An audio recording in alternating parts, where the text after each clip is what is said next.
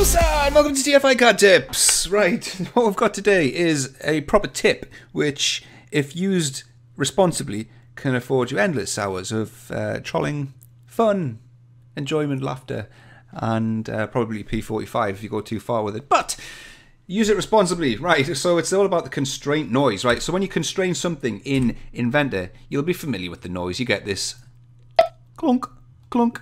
You can turn it off if you want to, if it really annoys you, by going into the application options assembly and then unticking relationship audio notification. But that's not the tip. That is not the tip. Oh no, no, no, no, no. No, we're going to go better than that.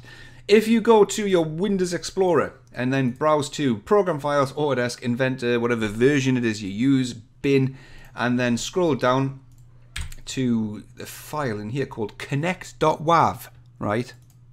That's the clunk noise.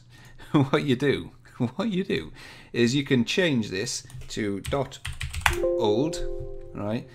Yes, I do want to change it. Yes, yes, yes. And then find another WAV file. It can be anything you want, right? Any sound file. It's got to be .wav, right? And then change its name to connect. And then move that into this folder. So you're essentially just replacing the WAV file with something else.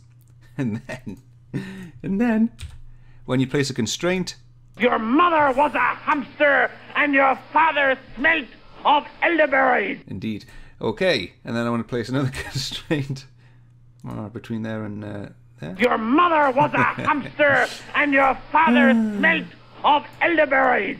I'm not saying do that on someone else's PC at work. I'm not saying that. I'm, I'm not suggesting that you go and do that and replace it with, you know, a fart noise or some high pitched squealing noise or anything. I'm not saying do that. But if you want to, you can change that sound file, and that's how you do it. All right, then. If you want to change it back, obviously, I mean, I'm sure you can work this out yourself. If you want to change it back, you can just delete that one, and then the original one, just put that back to connect.wav, and then it's back to normal. You know, there you go. So that's the tip. It's it's not really going to set your world on fire. It's not going to make you any more productive, but you know, it's a tip nonetheless. So thank you very much. If you liked it, press like. If you didn't, press dislike, I guess, and tell me why, or else I'll cry a river and go sit in the corner, curl up in a ball, and rock backwards and forwards and dribble. Comment and subscribe if you haven't done already. And thank you very much. Goodbye.